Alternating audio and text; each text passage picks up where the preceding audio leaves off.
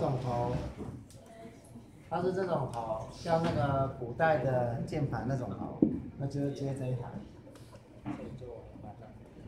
这里呢，这台仪器呢，有 A 跟 B 都可以，基本上一台镭射可以接两个头。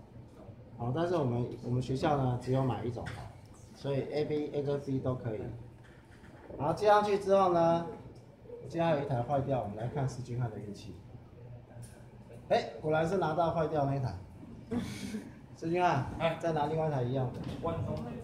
哎，对对对，那两台有一台坏掉。那不知道是保险丝还是怎样，我还没看。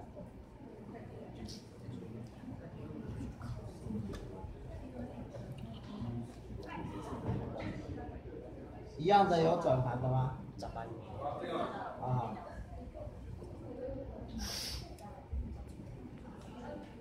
就放这里，帮我保管出来。谢谢。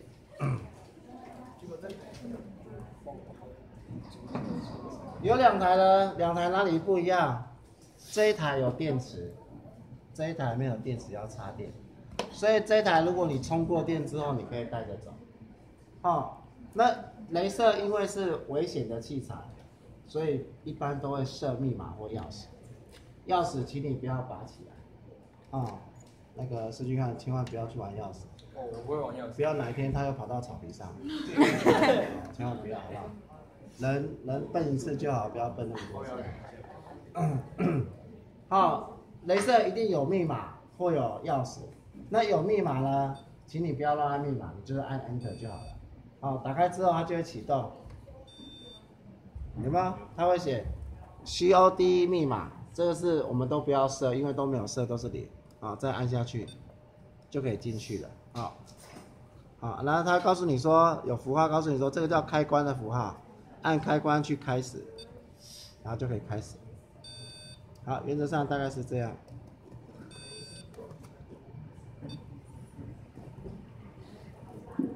那这一台呢？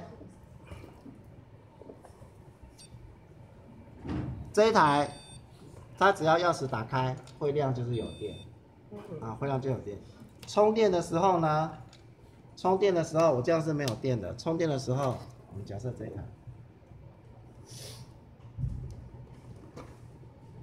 因为另外电源线不够长。充电的时候呢，下面 power 要按 on，有没有会亮？代表有充电。如果我这样是没有电的，要按 on，我就会充电。这个是电池的电源，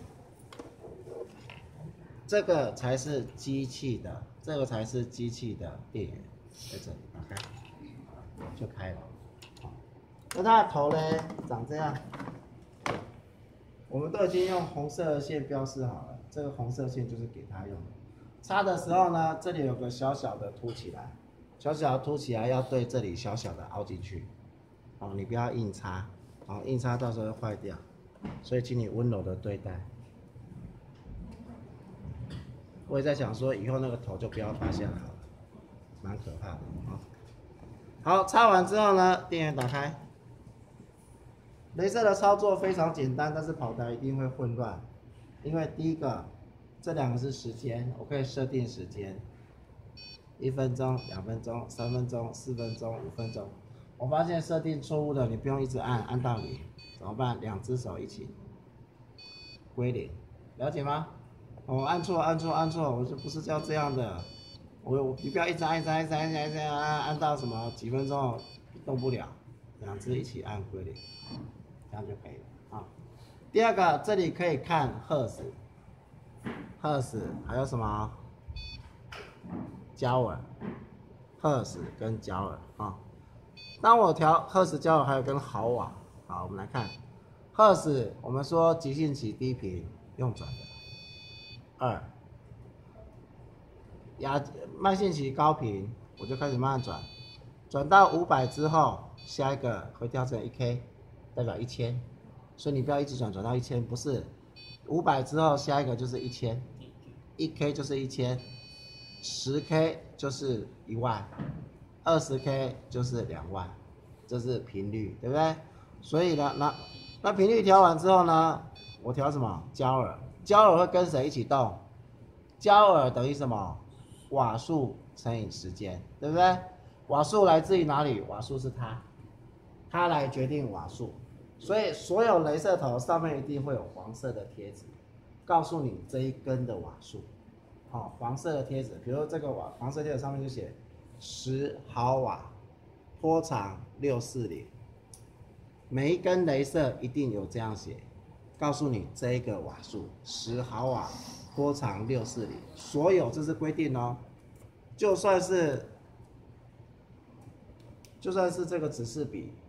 它上面也一定要告诉你多少毫瓦，这是规定，所以所有镭射一定是多少毫瓦。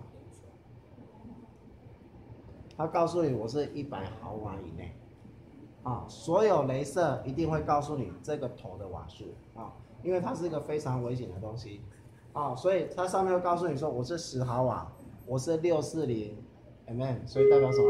六四零的波长，所以它是红光。这样了解吗？好，我这样打开之后呢，瓦数会跟谁一起走？跟时间，所以我调时间，它瓦数就会动。有没有看到？我调时间，瓦数就会动。所以瓦数由谁？交耳由谁决定？由时间决定。当我时间归零，焦耳自然不见。好，那瓦数由谁决定？由这个头决定。所以呢，当我要看瓦数是多少？十毫瓦。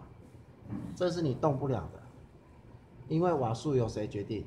头，你换这个头就是十啊，换别的头就是别的好啊。OK，好，下课休息一下，下节继续。